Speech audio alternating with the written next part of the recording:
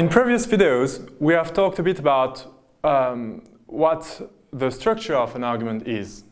We have talked about the issue of validity and soundness of an argument. And finally, about the question of hidden premises.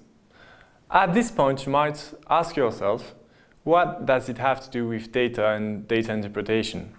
So in this video, I will provide an example I've encountered myself a while ago. I was arguing with relatives over the efficiency of an expensive apparatus that emits waves of a certain wavelength in order to treat, let's say, recurring headaches. I'll just change the name of the product a bit in order to avoid being sued. We'll call it Fastilator 2000. So basically, um, you, the, let's say there was an experiment to assess the efficiency of this apparatus with one group of uh, people that were given the Fastilator and the other one uh, that was uh, not treated. And we assume that both were suffering at the beginning from recurring headaches. And we notice uh, that uh, among the group who had the Fastilator 2000, uh, like headaches decreased by a significant amount.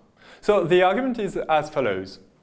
A controlled experiment that included a control group, which was not exposed to any treatment, and a test group with the treatment Fastilator, has shown a 37%, more or less 12% reduction of headache pain among subjects that use the Fastilator. So here you have the description of the result of the experiment. So now the conclusion of the argument is as follows. Therefore, the waves emitted by the apparatus have the capacity to relieve the pain. We will assume here that, surprisingly, the data are actually reliable in the sense that a proper scale was used to measure headaches. Still, there's a problem with that argument. Can you identify it? Firstly, there's a hidden premise, a suppressed premise.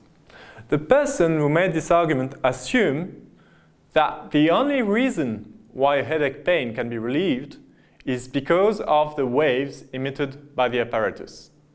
So, if we decompose the full argument, it goes that way. A controlled experiment that included a control group and a test group, blah, blah, blah, blah, has shown a 37% reduction of headache pain among subjects that used the Fastilator 2000. Then you have the hidden premise. If the apparatus relieves headaches pain, then it means that the waves it emits have a healing power. And the conclusion, therefore, the waves it emits have a healing power. Technically speaking, the argument is valid. However, the argument is not sound because the hidden premise is not true. Indeed, the person who designed the argument forgot about the placebo effect. The mere fact that people are exposed to a treatment may have an influence on the perception of pain. They may feel better, not because of the product, because, but just because they are being taken of, uh, care of.